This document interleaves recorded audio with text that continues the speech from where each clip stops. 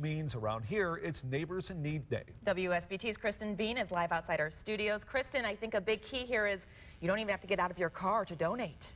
Yeah, just come by WSBT. We'll come up to your car. We'll grab your food items or your cash. And I want to emphasize, we're looking for both of those. I mean, check your cupboards this morning. If you've got anything you can donate, we want to fill that truck right there. But we're also taking cash. It's important to note that $1 can provide nine meals or 11 pounds of food. We've had several people stop by today and they've donated cash. I'm looking in here. I see at least 20 bucks. So that's that's great. That's great news for our community because a lot of the people that use the food bank are uh, single mothers, elderly, jobless, or underemployed.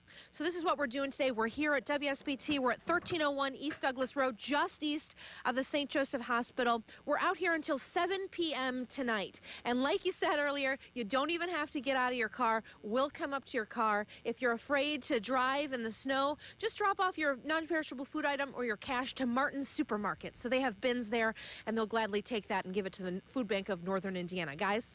Okay, I'll take it after this for.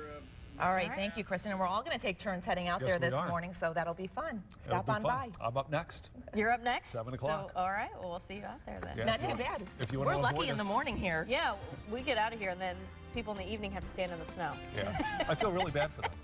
yeah. Really. Thanks for joining us.